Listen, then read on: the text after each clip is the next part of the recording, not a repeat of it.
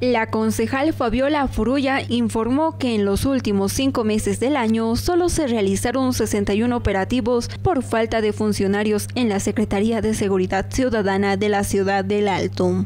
Porque no tiene la cantidad suficiente de personal para que haga operativos. Estos funcionarios, imagínense, 30 funcionarios, no solo atienden el tema de seguridad ciudadana, también atienden el tema de tráfico y vialidad.